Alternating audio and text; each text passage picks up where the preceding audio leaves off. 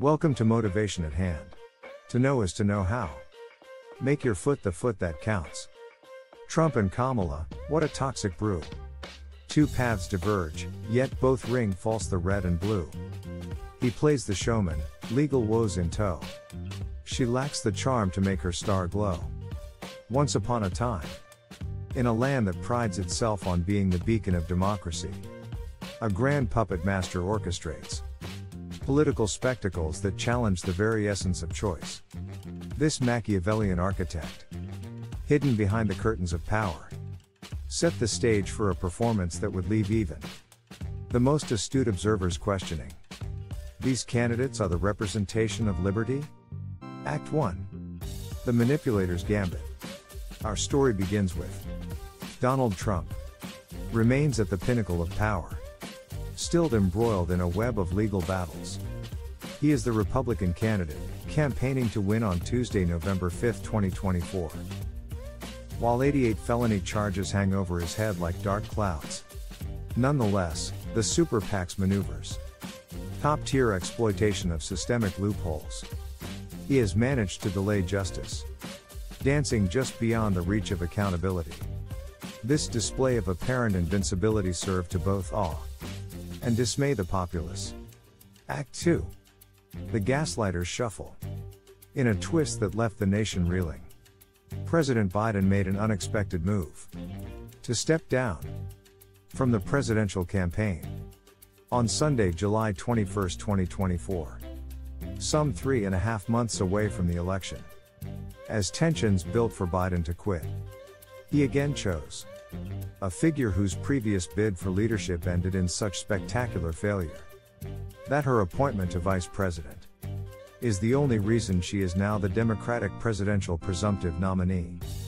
This abrupt end to the Biden campaign and the elevation of a previously rejected candidate sets the stage for a roller coaster ride of shock and awe.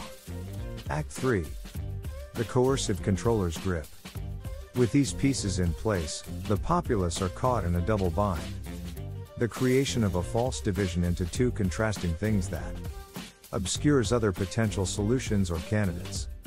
The authoritarian figure behind this scheme had effectively removed any middle ground, forcing a polarization that left no room for nuance or alternative options. Act 4 The Social Engineer's Web.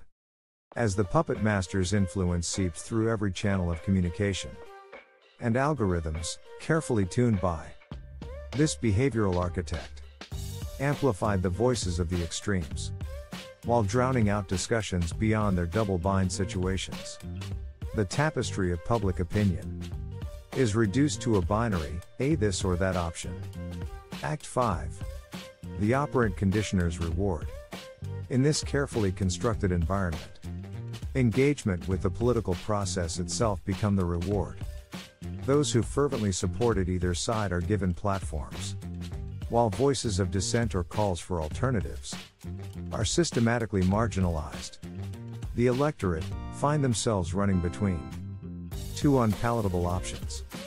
The very act of choosing becoming a form of compliance with the system. Epilogue The Svengalis triumph. As the election draws near, the true masterstroke of this behavioral architect becomes clear. Regardless of the outcome, the fundamental structures of power remains unchanged. The illusion of choice is serving its purpose to engage the populace in frantic debates. While the real levers of control remain firmly in the hands of unseen puppet masters. In this tale of the world's self proclaimed greatest democracy, the citizens find themselves not at a crossroads choosing but at the convergence of two paths leading to the same destination. The behavioral architect has constructed a perfect illusion. A choice that is no choice at all. Leaving the cognitively aware to grapple with the realization that the participation in this grand charade might itself be the most elaborate form of manipulation. Democracy's veneer, now cracked and worn. As history's shadows rise, familiar, forlorn. The cogent few see cycles old resume. While puppet masters craft our shared costume. Much appreciation to you for giving of your time with us at Motivation at Hand. To know is to know how. We trust you will come back soon.